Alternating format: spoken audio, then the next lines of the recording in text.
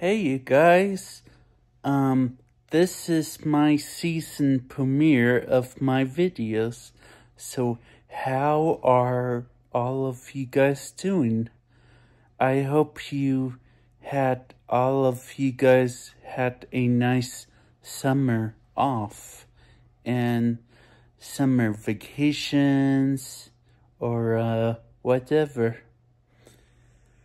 So anyways, I'm just sitting here, lying down, relaxing in Mammoth.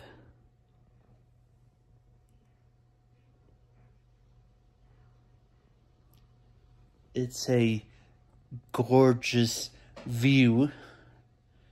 Yeah, gorgeous view outside, looking at the mountains, but it's very windy out today. So, anyways, I had a nice summer. Um, let me think. Um, I went to um, Mammoth a couple of times to enjoy up here in Mammoth so I don't have to have a fucking heat. At the heatness because I don't like the heat where I live in Southern California. It was just so goddamn hot this year. Yeah, so damn hot this year. So anyways, um, I had a nice summer this year.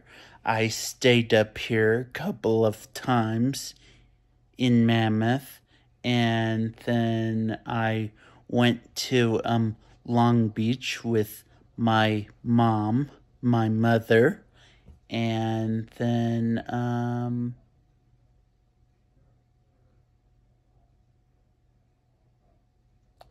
that's about it. Mostly here in Mammoth and um, in Long Beach. So, not very much this year. Just, uh, here and relaxing. So, um, anyways, um, let me, um, talk to you, all of you guys, about my summer movies I do recommend. And that is, um, MaXXXine.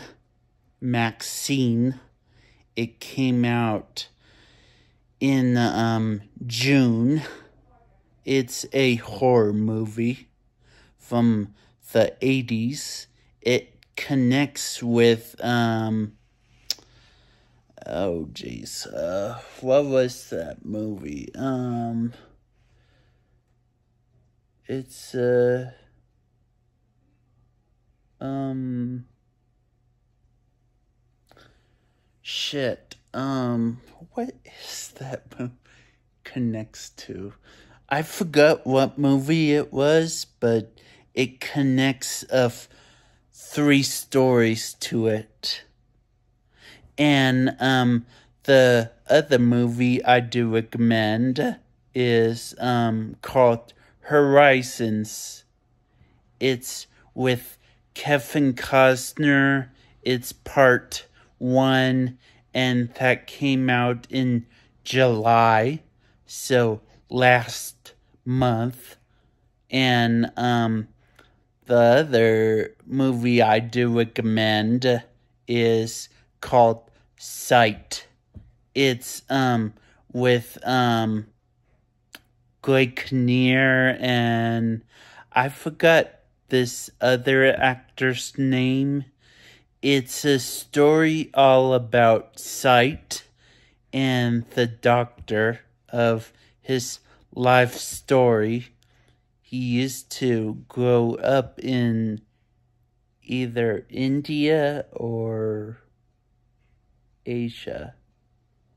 I can't remember. Either India or Asia.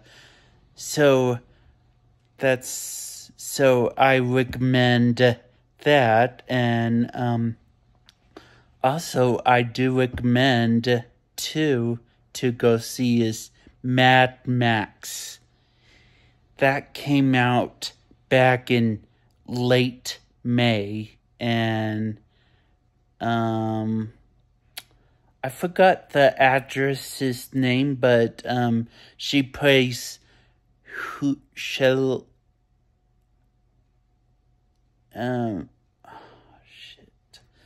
I can't remember her name either, but she plays she plays her in the younger form.